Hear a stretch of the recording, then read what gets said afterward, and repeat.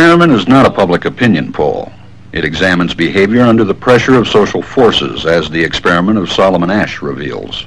The experiment you'll be taking part in today involves the perception of lengths of lines. As you can see here, I have a number of cards, and on each card there are several lines. Your task is a very simple one. You're to look at the line on the left and determine which of the three lines on the right is equal to it in length. All right, we'll proceed in this order. You'll give your answer. Only one of the people in the group is a real subject, the fifth person with the white t-shirt. The others are confederates of the experimenter and have been told to give wrong answers on some of the trials. The experiment begins uneventfully as subjects give their judgments. Two. Two. Two. Two. Two. Three. Three.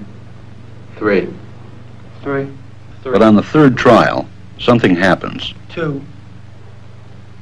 Two. Two. Two. Uh, two. The subject denies the evidence of his own eyes and yields to group influence. One. Asch found subjects went along with the group on 37% of the critical trials. But he found through interviews that they went along with the group for different reasons. One. One.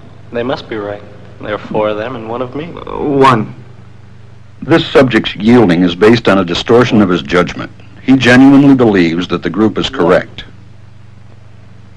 One. One. One. Two. One. Two. Two. Two. I know they're wrong, but why Two. should I make waves? Two. In this case, the subject knows he is right, but goes along to avoid the discomfort of disagreeing Two. with the group. Here, the distortion is at the level of his response. Two. Two. Two. Two. In the previous experiment, the naive subject stood alone against the group. In this variation, Asch gave the naive subject a partner, here seated in the third position, who also gives the correct response. One. One. Two. One. Um, two. With a partner, yielding drops to only 5% of the critical trials compared to 37% without a partner. Although subjects report warmth and good feeling toward the partner, they typically deny that he played a role in their own independence. The partnership variation shows that much of the power of the group came not merely from its numbers, but from the unanimity of its opposition. When that unanimity is punctured, the group's power is greatly reduced.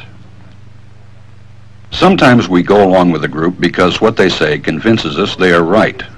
This is called informational conformity. But sometimes we conform because we are apprehensive that the group will disapprove if we are deviant. This is called normative conformity. The strength of the normative factor is shown in another variation carried out by Asch. In this variation, the subject is told that because he had arrived late, he would have to write his answers. Subjects in this private response experiment are exposed to the same amount of misleading information as other subjects, but they are immune from any possible criticism by the group. One. One. One. And this enormously reduces the pressure to conform. Conformity drops by two-thirds. Asch's experiment is a classic. It reveals how people will deny what they see and submit to group pressure.